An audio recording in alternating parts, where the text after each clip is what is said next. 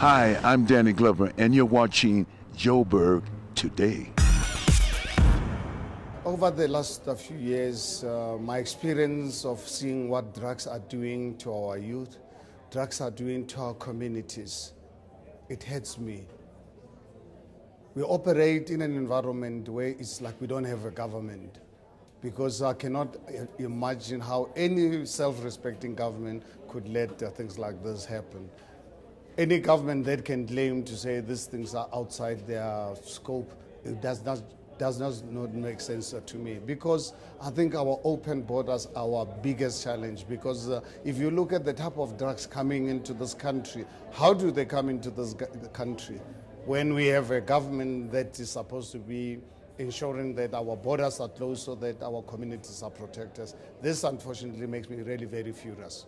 You know, you can imagine this is the money that should really be going into uh, ECD centers, uh, into schools, in making sure that we prepare our youth to really face the future. In the meantime, we've got to in, uh, come out with intervention measures of drugs actually killing uh, this, uh, this youth.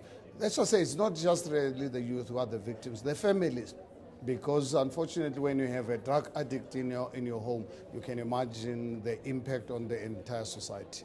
You know, I think, you know, for me, I was lucky as a youth uh, playing uh, due to peer pressure because you wanted to be one of the friends. Uh, fortunate enough for us, uh, the only drug available in our communities was uh, Dagga.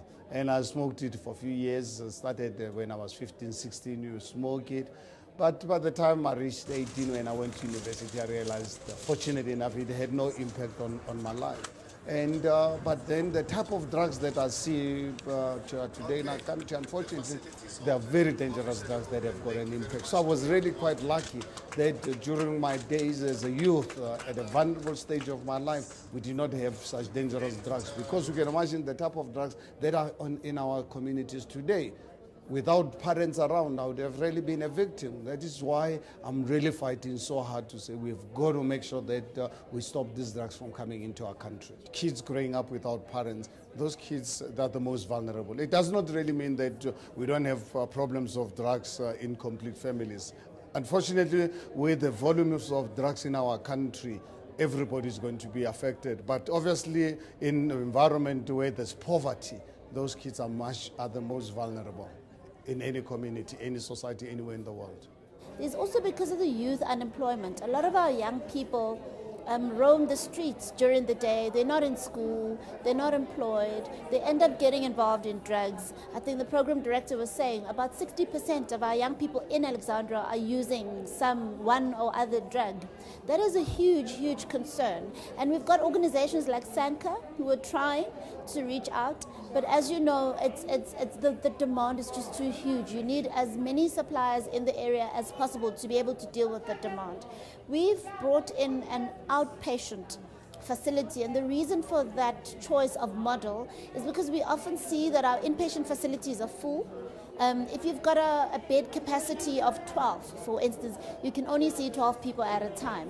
Whereas with an outpatient model, you have people coming and going all the time, just like with our clinics. And we believe that the, with this model in Alexandra, we will be able to see many of the people in Alex that need the help. We're working with JMPD, um, the K9 unit, and Chief Tembe, the Chief of Police, is very committed to the cause, working very closely with us to make sure that supplies are identified. We will be working working very closely with the community of Alexandra to, to identify these suppliers. A lot of the people know who's selling. Um, a lot of them are eating with, with the police. Unfortunately, when I was working in casualty at, at Alex Clinic, one of my patients was, was assaulted by somebody that wanted to, to buy drugs next door to where he stays. And he said to me, you know, this place is as, as this person is a supplier of drugs and we know it and the police know it and they come every day to collect cool drink money from this place. So those are the places we will be going for. So we'll be spreading messages far and wide in Alexandra for people to come forward with that information so that Chief Tembe with the K9 unit can go out and apprehend these people. Uh, let me start by saying that I've got a plus minus 2,000 officers that belongs to Johannesburg Metropolis. So we work in terms of the units.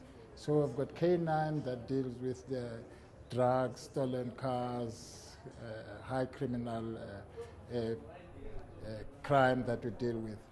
Uh, but uh, the one that deals with drugs, we have got plus minus 60 officers. They've got dogs, and they've got uh, uh, they've got dogs, they've got high-speed vehicles, and they're dealing with drugs. Especially the youth that are, are not are, are unemployed. They give them these drugs to go and sell it at the school. Not only uh, those, some of those drug packs, they, they pretend as if they are selling uh, food to, to the school kids. Those, those are the ones that you find them sitting at the gate outside the yard and selling uh, fat cakes and guinyas and all those other issues. But it's them that are selling drugs. Not all of them, but some of them are selling drugs.